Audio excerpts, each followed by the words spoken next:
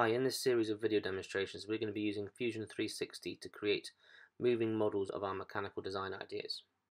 In this eighth video we're going to look at how to assemble components which need to revolve around each other. To help us demonstrate this, over the series we're going to be modelling this punch mechanism. For this model we need to assemble the lever to the base plate so that it revolves around the pin. So we start by selecting the assemble icon and then the two areas of the two components that we want to link up with each other, so the end of those two cylinders. The movement symbolises a slider motion moment, so we change that to revolute. It's not central at the moment, so we need to correct that. We can offset that. We want it to be, we want it to be minus 8.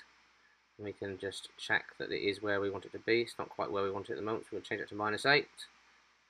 And then we're going to click OK.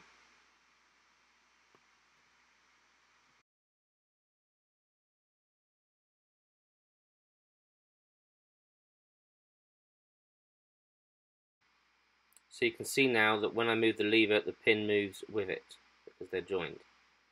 Next we're going to create a connection between the pin component and the holes on the base plate.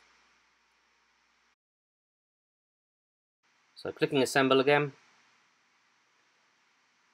we have to capture the position because we've moved components and then we're going to select the two areas that we want to make a connection.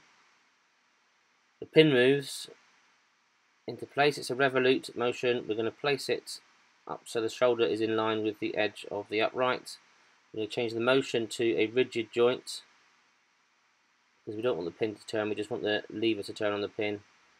Then when we click OK, the lever will move into position and we can revolve it around that pin, but the pin stays in place. Then using exactly the same assemble process, we place the split pin into the hole in the end of the pin.